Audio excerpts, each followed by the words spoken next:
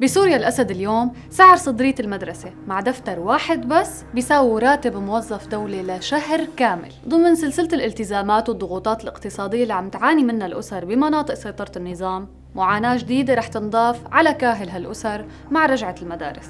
وهذا الشيء بسبب غلاء أسعار الملابس واللوازم المدرسية بشكل كبير كتير. أسعار الصداري والبدلات المدرسية شهدت ارتفاع وصفوه الناس بالمرعب مقارنة بالعام الماضي. للأسف نحن وصلنا لمرحلة أنه يصير اعتيادي نقرأ خبر ارتفاع سعر أي مادة بنسبة 100% لكن اللي مو عادي هالمرة أنه نسبة ارتفاع أسعار اللباس المدرسي وصلت ل 200% عن السنة الماضية. ونفس الشيء هذا الارتفاع بينطبق على اللوازم المدرسية والقرطاسية مثل الشناتي الدفاتر وحتى الأقلام. لنعطيكم شوية أمثلة. سعر الصدرية اليوم عم يتراوح بين 80 ألف و 130 ألف ليرة. القميص المدرسي بين 90 ألف و 150 ألف ليرة. أما البنطال المدرسي الإعدادي اللي لونه أزرق بين 75 ألف ليرة و 180 ألف. البنطال المدرسي الثانوي اللي لونه رمادي بيبدأ سعره من 125 ألف ليرة. هذا لسه ما حكينا عن أسعار الأحذية. ما في حذاء أقل من 100 ألف ليرة. والحقيبة المدرسية الوحدة بيوصل سعرها ل 300 ألف ليرة سوري. وكله بيرجع حسب المقاس. حسب النوع وكمان الجودة. حتى القرطاسية سعر الدفتر أبو 40 صفحة ب 4500 ليرة سوري أما الدفتر ال 80 صفحة ب 7000 ليرة سورية. هالأسعار تقيلة على عيلة إذا كانت عم تشتري لطالب واحد